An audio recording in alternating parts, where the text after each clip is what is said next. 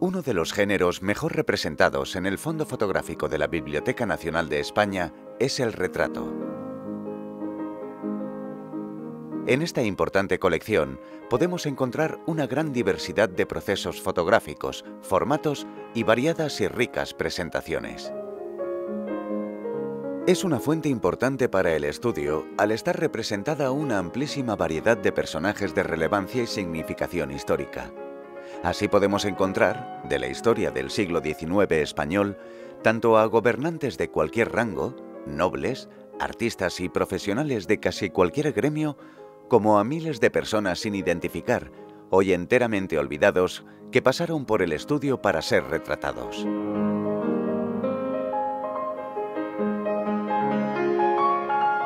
El retrato fotográfico en sus primeros años de existencia tuvo que suponer algo que causaba asombro. Ver una imagen tan real de los personajes admirados o importantes de la época y el poder obtener el retrato de seres queridos maravilló a una gran mayoría. El retratarse durante buena parte del siglo XIX era en sí mismo un gran acontecimiento. Hacia 1854 aparece el formato conocido con el nombre de carte de visite y fue patentado por el fotógrafo francés André Adolphe Gendisdery. Este tipo de formato se obtiene de manera técnica algo particular y va a tener una gran repercusión en la producción de retratos de aquella época. Se basaba en la producción de varias imágenes fotográficas en un mismo negativo, utilizando una cámara con varios objetivos. Una vez revelada la imagen en papel, se recortaba en tantas partes como las imágenes obtenidas y se pegaban en una cartulina de un tamaño similar a la de una tarjeta de visita.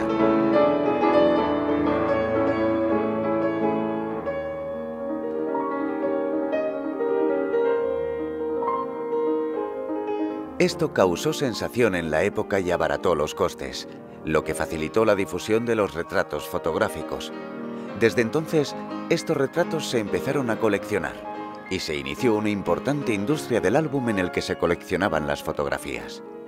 En el propio gabinete de retratos se podían comprar de los más diversos personajes de la época, artistas, reyes, famosos, criminales, etcétera, etcétera. Retratos que incorporados al álbum familiar servían para darle importancia y para hacer patente alguna admiración a este o aquel personaje de la escena política o artística. La Biblioteca Nacional conserva de esta época importantes colecciones de retratos. Cabe destacar la muy importante colección Manuel Castellano, que reúne más de 18.000 retratos, en su mayoría del periodo de 1852 a 1870. Es especialmente relevante esta colección tanto por la extraordinaria calidad artística de gran número de sus retratos, como por la enorme variedad de personajes retratados.